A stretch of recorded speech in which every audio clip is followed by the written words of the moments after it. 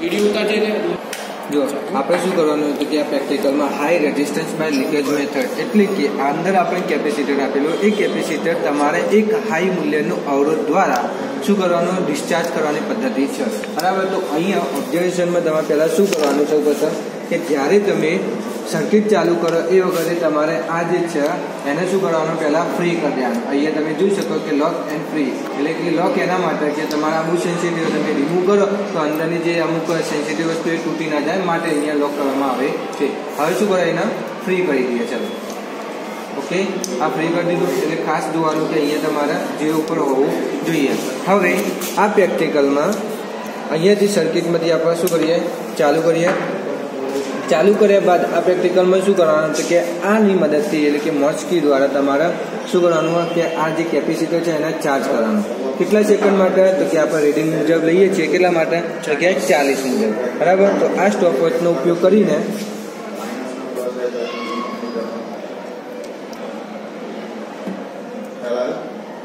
આ સ્ટોપ વોચનો ઉપયોગ કરીને શું કરીશું? ચાલીસ સેકન્ડ માટે ચાર્જ કરીએ. જે વખતે તમે સ્ટોપ વોચ ચાલુ કરો, એ વખતે તમારા આ કીના પ્રેસ પ્રેસ કરીને રાખવાની એટલે કે અહીંયાથી હું સ્ટાર્ટ કરું છું ફર્સ્ટ અહીંયા કી દબાવી દીધી.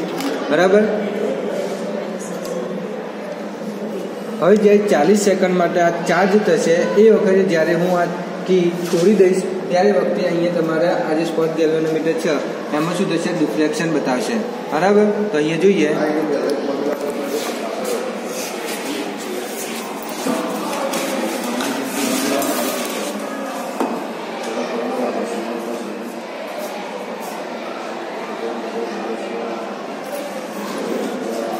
અહીંથી ચાલુ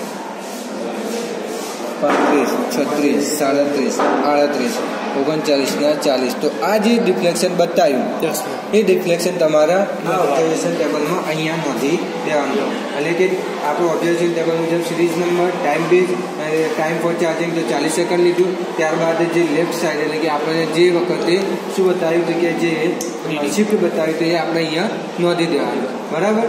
એ વખતે એ નોંધી દેવાનું હવે આ જે બે સેમ જ આવશે એટલે આ બંનેનું રીડિંગ લઈને તમારે શું કરવાનું? તો જગ્યાએ સરેરાશ કરતા કે theta zero is equal to theta one theta two by two બરાબર? આ ત્રણનો સરેરાશ લો એટલે તમને એવરેજ ટીટા જીરો મળી જાય. ઓકે? સેમ જે પ્રેક્ટિકલ ઉપર કરે એવી ને એવી રીતે પ્રેક્ટિકલ ત્રણ વખત કરવાની એટલે ટોટલી આપણને ટીટા જીરો એકદમ એક્યુરેટ મૂલ્ય મળી જાય. હવે બીજા પ્રેક્ટિકલમાં શું કરવાનું એ જોઈએ. તો કે અહીં જે પહેલાં આપણે ચાલીસ સેકન્ડ માટે ચાર્જ કરતા હતા, એવી જ રીતે આપણે અહીંયા ચાલીસ સેકન્ડ માટે ચાર્જ કરવાનું છે. બટ પાંચ સેકન્ડ માટે આ જે ટી વન ઉપર મૂકેલી છે, એ કીને પાંચ સેકન્ડ માટે ઉપર ફેરવી દઈએ, તો એ કનેક્ટ થઈ જશે કોને સાથે? અવરોધ સાથે. કોની સાથે? અવરોધ સાથે. માટે પાંચ સેકન્ડ માટે શું થશે? ડિસ્ચાર્જ થશે. ઓકે પછી પિસ્તાલીસ સેકન્ડ ટોટલી જે સ્ટોપવોચ છે, એમાં પિસ્તાલીસ સેકન્ડ થાય એ વખતે આપણે આ કીને ફરીથી આપણે છોડી દેવાનું. જોઈએ કેવી રીતે કરીએ. અહીંયા જુઓ. તો કે આપણે ચાલીસ સેકન્ડ માટે જ્યારે સ્ટાર્ટ કરીએ પહેલાં આપણે ચાર્જિંગ માટે સ્ટાર્ટ કરી દઈએ. આ પ્રેસ દબાઈ દીધી બરાબર?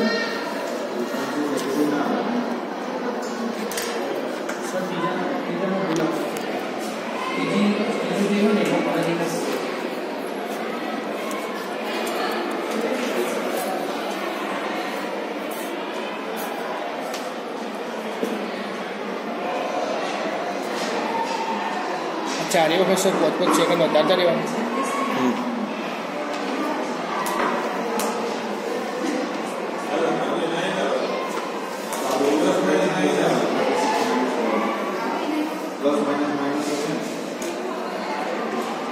ચાલીસ તો જો અહીંયા આ સેકન્ડ ચાલીસ થઈ જાય એ વખતે તમારે અહીંયા પાંચ સેકન્ડ માટે ડિસ્ચાર્જ કરવાનું અને જેવી રીતે આમાં પાંચ સેકન્ડ થઈ જાય તરત જ આપણે અહીંયા શું કરવાનું? છોડી દેવાનું. છોડશો તમે ત્યારે વખતે તમારે શું હશે? તો કે જે રિફ્લેક્શન બતાવો એ આપણે નોંધી દેવાનું ઓકે હવે પડી ફરીથી જોઈએ.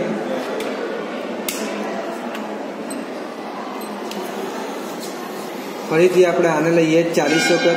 ચાલીસ સેકન્ડ માટે તો સ્ટાર્ટ કરીએ. ચાર્જિંગ કરવાનું.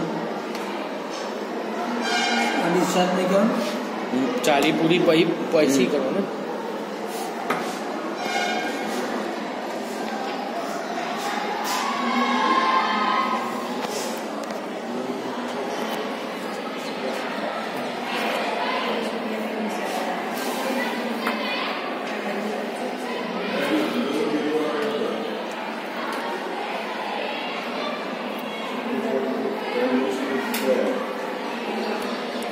તેત્રીસ ચોત્રીસ પાંત્રીસ છત્રીસ સાડત્રીસ આડત્રીસ ઓગણચાલીસ ને ચાલીસ. એટલે હવે પાંચ સેકન્ડ માટે ડિસ્ચાર્જ કરીશું. એટલે કે અહીંયા જુઓ ટોટલ કેટલું? પા- પિસ્તાલીસ સેકન્ડ થાય. હવે અહીંયા જુઓ તો કે જે ડિફ્લેક્શન બતાવે છોડતી વખતે એ આપણે અહીંયા. નોંધવાનું બરાબર? એવી જ રીતે બીજા પ્રેક્ટિકલમાં શું કરશો? તો કે આપણે પહેલા ચાલીસ વત્તા પાંચ એટલે કે ટોટલી કેટલી સેકન્ડ થઈ થઈ તો કે પિસ્તાલીસ એટલે કે પાંચ સેકન્ડ માટે શું કર્યું? ડિસ્ચાર્જ કર્યું. સેમ એ જ રીતે બીજી વખત જ્યારે પ્રેક્ટિકલ કરો એટલે ચાલીસ સેકન્ડ માટે ચાર્જ કરવાનું દેન દસ સેકન્ડ માટે ડિસ્ચાર્જ કરવાનું. આ કી ઉપર લઈ જઈએ એટલે દસ સેકન્ડ માટે ડિસ્ચાર્જ કરવાનું. ટોટલી આપણે જે સ્ટોપ હોય છે એમાં કેટલી સેકન્ડ થશે? પચાસ થશે. બરાબર? એવી રીતે પછી એ જે કી છોડો છો તમે જે કી છોડો એ વખતે તમારે જે રીડિંગ આવે એ આપણે.